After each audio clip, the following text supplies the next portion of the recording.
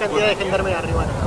Ahora es un número de 25, que son, como decía José, es, un, son, es personal especializado, recientemente recibido de los institutos de formación, ustedes habrán visto las caritas, son todos chicos jóvenes, pero bueno, tendrán que hacer camino al andar, tendrán que trabajar y con el acompañamiento del señor juez y la paciencia que él nos tenga para investigar, seguiremos adelante este camino que recién hoy empieza. ¿Tiene las comodidades necesarias o hace falta mejor, ampliar? No, para, para arrancar tenemos las comodidades, lo vamos mejorando, como dijo el señor intendente, pero para arrancar tenemos y eso sin ese apoyo nosotros hoy no pudiéramos haber estado acá arrancando estas actividades. ¿Esto pasa habitualmente o Venado Tuerto es una excepción? No, mira, habitualmente pasa, la Gendarmería en todos lados es muy bien recibida, eh, Gendarmería Nacional como una fuerza nacional que está en todo el país es muy bien recibida, quizás aquí tenemos una, una, una afinidad muy especial, eh, recuerdan ustedes que nosotros estamos acá desde el año 2008 cuando se hicieron los corredores viales o la Ruta Nacional 8, que estamos a caballo de esta ruta, eh, ahí la Gendarmería empezó a echar pie a tierra en este lugar y lo vamos consolidando y realmente creo que es un privilegio por una ciudad de casi 100.000 habitantes tener una sección de ciudad vial una sección de Ciudad Ciudadana y ahora la Unidad de Procedimientos Judiciales. Eh, es algo importante como para colaborar en, en, el tema del combate del delito. La comunidad también requiere que haya mayor presencia en la ciudad, ¿eso también se va a apuntar?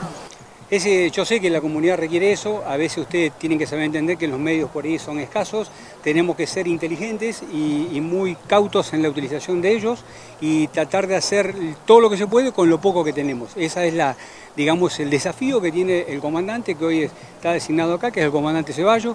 Él tiene una vasta experiencia, lleva un año y medio trabajando en esta zona de responsabilidad, con lo cual conoce, eso es importante, y bueno, tiene el desafío de trabajar y de dar respuestas.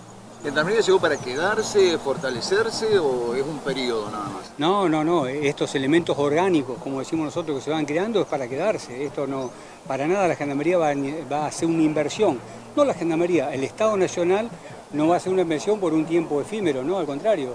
Esto para quedarse, entendemos que esta es una ciudad muy importante del sur santafesino y con lo cual debemos consolidarnos en este lugar, acrecentarlo y seguir trabajando hacia ese rumbo. Eh, vamos a hablar con el juez, con Aurelio Cuello Murúa. Aurelio, por favor, muchas gracias. Eh, importante este destacamento de Gendarmería apoyando todo el trabajo del jugador general. Como decía recién el comandante o el intendente, es muy importante para, para la ciudad y digamos, significa que sigue creciendo institucionalmente todo lo que es sur de Santa Fe, con el juzgado federal, con ahora con Gendarmería, y bueno, como el juzgado tampoco digamos, se circunscribe a lo que es únicamente la cuestión penal, digamos, también tiene que seguir creciendo con otras instituciones, digamos, las capacidades del ANSES, de, los distintos organismos nacionales. Pero bueno, creo que esto va a redundar este, en el bien común, en mayor satisfacer la necesidad de la gente.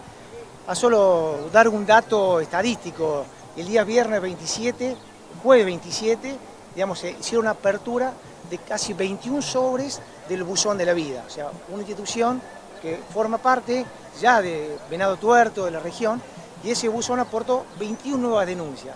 Y la particularidad que tienen es que la gente participa, ve que las instituciones comienzan a funcionar en la región, del juzgado, de la fiscalía, entonces creo que la gente también toma una participación importante anoticiando determinados hechos que conozcan, digamos que ellos consideren delictivos.